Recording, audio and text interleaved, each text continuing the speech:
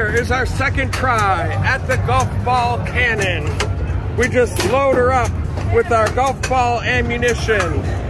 Ready, aim, let's see if we can hit one of those things, and fire!